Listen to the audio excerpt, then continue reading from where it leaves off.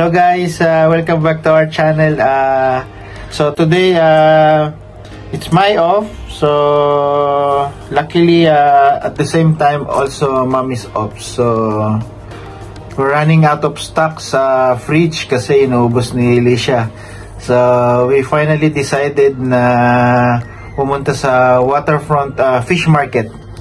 So sa sa waterfront fish market, uh, makikita nyo yung uh, uh, bilihan ng mga uh, wet market like uh, fish, uh, lahat lahat ng ano iba't ibang klaseng fish. Uh, fresh pa siya tsaka isa pa mura pa. Then at the same time, meron din doon mga sa vegetable section sa lahat as in lahat.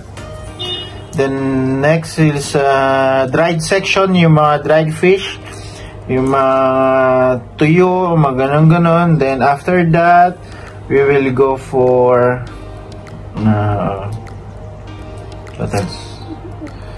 Just uh, roam around sa loob ng waterfront. Actually, ano siya? Uh, mall siya na nandoon yung ano yung fish market. Design siya sa fish market talaga.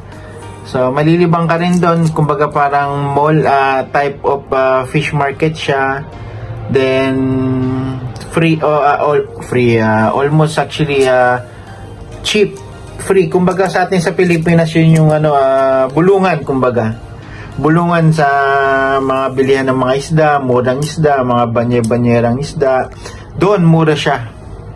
Ang Difference nga lang, so yun nga, gagastos ka rin ng ano ng commit, uh, transportation, taxi, then taxi rin pabalik. So almost the same din kaya almost parehas lang rin kung bibili ka sa nearest sa market dito. Difference nga lang at least doon makakapag-enjoy ka, makakapag-relax, gala-gala rin pag may time, tapos makakita ka rin na at least maraming option ng mga fish, tsaka ng mga meat, kahit na ng mga meat, uh, chicken, uh, beef, mutton, gano'n. Wala nga lang pork kasi, you know, uh, haram.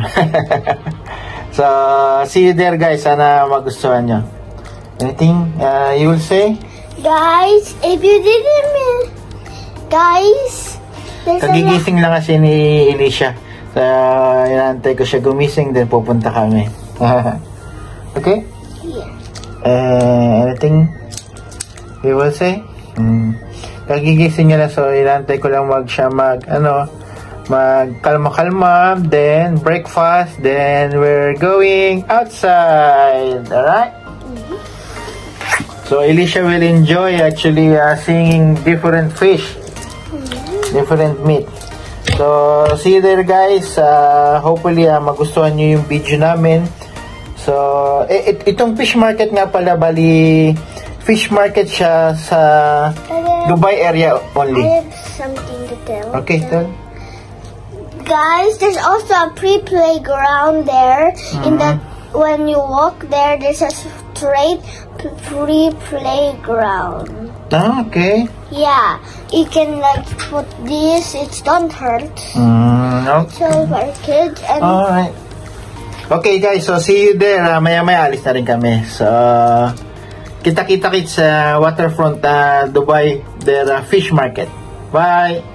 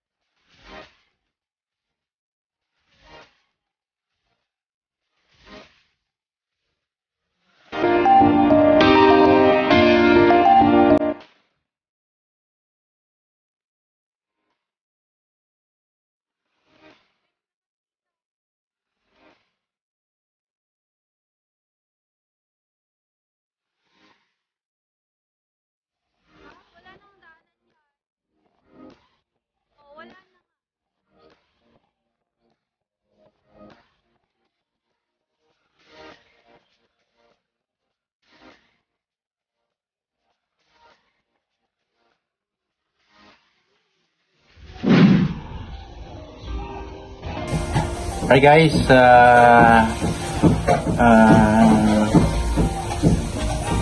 we finally back home. So, marami kami nabili doon sa fish market, sa waterfront fish market sa Dubai. So, ang binili namin na beef, vegetables, tsaka all variety of uh, uh, seafoods. So, yung seafoods na yon na niluto ko, niluto namin na ginawa namin ngayon, uh, ano ba to? Uh, chili, garlic, uh, with tomato sauce yung ano. Tapos, sa next content ko, makikita nyo siya uh, magano kami magmumukbang. So, see you guys on the next video. Maraming salamat sa lahat ng mga walang sawang suporta. So, ingat palagi, keep safe, at sana sa mga bagong uh, nakakapanood lang ng video ko, kindly like and subscribe na rin para updated kayo palagi sa latest video ko. So, see you guys uh, in behalf of the Bautista family, Fritz and Pam channel. Uh, maraming salamat po sa lahat. Uh, all throughout from Dubai. Keep safe, God bless, at uh, mabuhay kayong lahat. Bye!